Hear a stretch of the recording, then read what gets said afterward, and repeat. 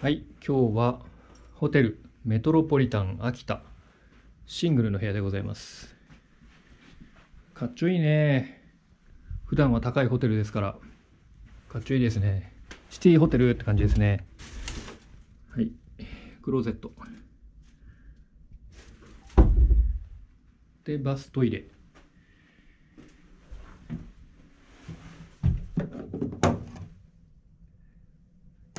なんか洗練された感じがしますよね。やっぱね、世の中お金次第というところは多分にありますからね。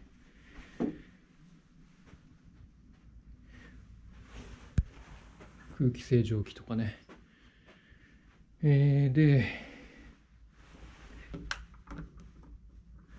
コンセントもあるしね。で、お風呂、これ、中がね、見えるようになってますね。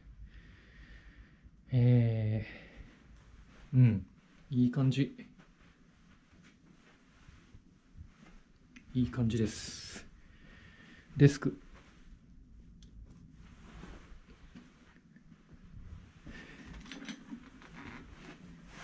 えっ、と、ここが冷蔵庫ですかね。お、ミネラルウォーターのプレゼント。あ、プレゼントっていうかね、あの別にこれ宿泊料金に含まれてるわけで、ここ開かないのかな？あ、こうか。あの、別に、タダでもらってるように感じられる、感じられるだけで、別にタダではないんですね。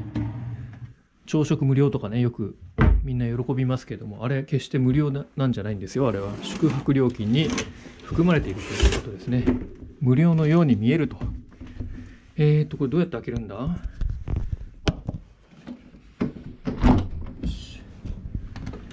い。えーっと、夜なので分かりにくいんですが、えー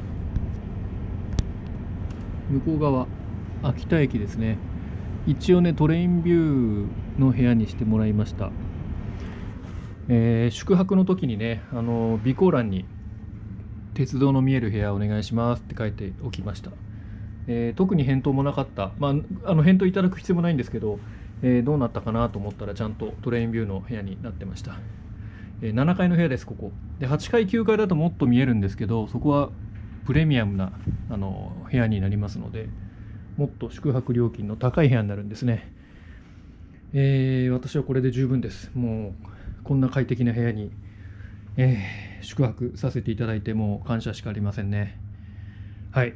ということでホテルメトロポリタン秋田 JR グループ JR 東日本グループの宿ですね。はい以上でございます。あゆっくり休めるな。快適だなこれは。